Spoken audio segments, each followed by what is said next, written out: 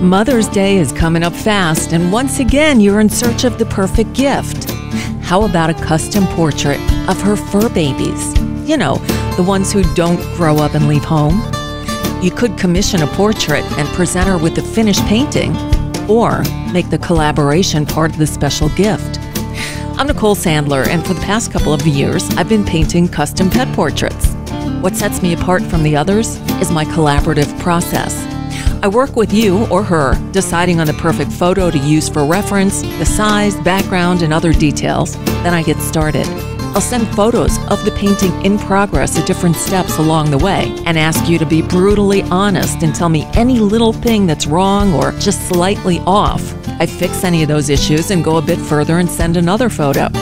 The portrait is done when you or she says, That's it, it's perfect. Whether you present her with a finished portrait or a beautiful gift certificate that also gives her the gift of collaborating on her keepsake pet portrait, this is the personal and unique gift you're looking for. See samples, get more information, and contact me all through paintyourpets.net. That's paintyourpets.net.